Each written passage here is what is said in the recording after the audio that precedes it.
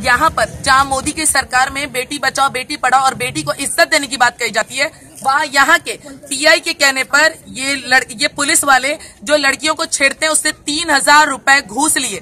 उसको छोड़ दिए और जो इन लड़कियों को प्रोटेक्ट करते हैं उसको थाना में अंदर लॉकअप में बंद कर दिए। और जब हम लोगों ने मना किया कि लॉकअप में नहीं जाने देंगे ये सारे पुलिस वाले मिलके सबके साथ हाथापाई किए आप लोग देख सकते हैं। ये हाथापाई करके लड़के पुलिस वाले एक भी फीमेल पुलिस वाली नहीं ये लड़के पुलिस वालों ने किया है मारपीट किया सारे लोगों के साथ यह है मोदी सरकार। यहाँ बीजेपी की सरकार ये काम कर रही है। सब लड़कियों के साथ हाथापाई किया है। थप्पड़ पे थप्पड़ ये बाल नोच नोच के सारी लड़कियों के साथ हाथापाई किए है।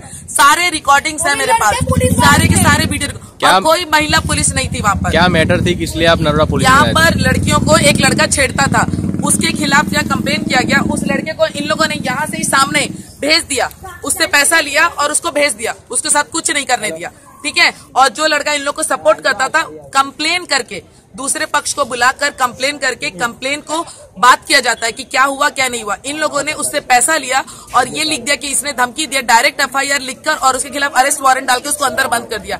ना कंप्लेन लिया, ना बात की, ना सुनवाई की। और यहाँ का जो पीआई है, उसका राइट हैंड है, वो आप देख सकते सारे लोग हाथ में डंडे लेके पुलिस लड़कियों को दौड़ा रहे हैं। ये लोग यहाँ की जो पब्लिक सपोर्ट कर रही है लड़कियों को पहली बात कोई आ नहीं रही है। और अगर कोई आ रही है तो ये पब्लिक उन लोग को दौड़ा दौड़ा के मार रहे हैं। सारे पुलिस वाले ये काम कर रहे हैं। किससे लड़कियाँ जाके कंप्लेन करेगी? जब पुलिस वाले कपड़े फाड़ फाड़ के चिल्ला कर मार रहे हैं तो। आप खुद देखो ये लड़कियों को क्या करके रखे। सारी लड़कियों को नोच फाड़ के रखे हैं। ये है। कोई लड़की नहीं टच की थी लड़का है ने ये ये लोग करके रखे हैं। पुलिस हाथ नहीं उठा जेंट्स पुलिस ने मारा यहाँ जेंट्स पुलिस ये सब काम कर रही है।